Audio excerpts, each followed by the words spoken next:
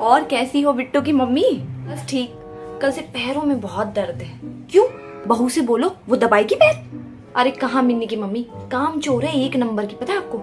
हाँ बिट्टू की मम्मी मेरी बहू खुद सारा दिन सोती रहती है घर का कोई काम नहीं करती है काम चोर एक नंबर की। अरे ये भी तो ऐसी है शॉपिंग कराओ मूवी दिखाओ बस इसका यही लगा रहता है। अरे बिट्टू की मम्मी, एक बात बोलूँ? अब गया, आपका और हमारा जमाना गया।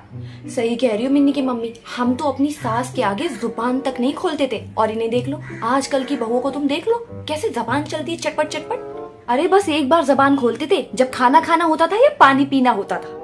अरे अब वो बात कहाँ रह गई? आजकल की लड़कियाँ जरा सा काम करती हैं, थक जाती हैं, इतनी नाजुक हो रखी हैं ये लड़कियाँ। और क्या? और हम तो घर का काम करो, कपड़े धो, फिर उपले भी पातने जाते थे हम लोग। कल शाम को बिट्टू के साथ बाहर गई थी। घर पर आई, मैंने कहा, बहू, खाना बना दे। पता है क्या कहने लगी? फिर? अरे, कहती है, मम्मी जी, मेरा तो पेट भर गया गोलगप्पे खा के। मैं तो डाइट पर हूँ, बताओ। अरे, इनके माँ बाप ने बिट्टू की मम्मी ने कुछ नहीं सिखाया। बस, आजकल फ़ैशन करो और वो, क्या बोलते हैं, रील बना लो, बस। मानने दो बिट्टू की मम्मी। अब तो मुझसे भी ना ये सब बहुओं की बुराई नहीं होती बिल्कुल भी, मैं सही बता रही हूँ। छोड़ो, हम तो सत्संग चलते राम जी का नाम लेते हैं। हाँ हाँ ये बात तो आप सही कह रही हो। चलो चलो। थोड़ा राम नाम जप ले। हम उससे भी नहीं होती बहुओं की बुराई।